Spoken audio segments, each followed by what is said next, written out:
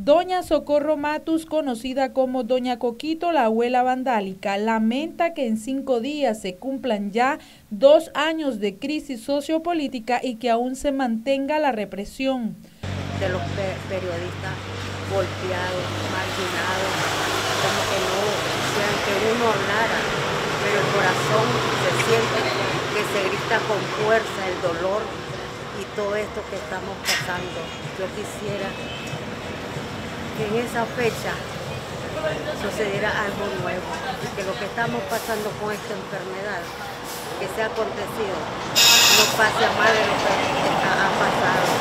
Porque yo sé que Nicaragua es libre, libre en enfermedad, libre de este hombre que no se sabe a dónde está. Sí, cinco días faltan para que se cumpla dos años y esos días esperamos que algo acontezca algo como una victoria, como algo que le esperamos, que aunque la victoria no es por ser victoria, sino por porque siempre el dolor existe en las madres y en todos los nicaragüenses, especialmente yo,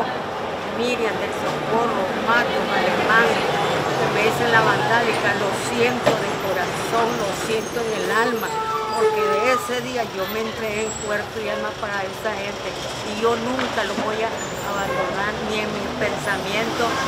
ni en mi oración me lo pongo todos los días. Doña Coquito recordó que se debe de seguir demandando la libertad de los presos políticos. Qué barbaridad, en qué cabeza cabe este que dirige la, la, gobernación de la policía, sacar a, a, a personas delincuentes, violadores.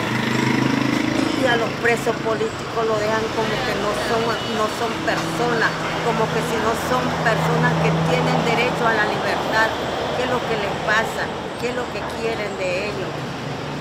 piensan de que van, son olvidados por Nicaragua, por todos nosotros. No es olvidado todo eso de los presos, porque es un dolor grande que sentimos tanto las madres como las personas, que sentimos el dolor que en verdad se siente cuando uno mira la ausencia de esas personas. Para Noticias 12, Castalia Zapata.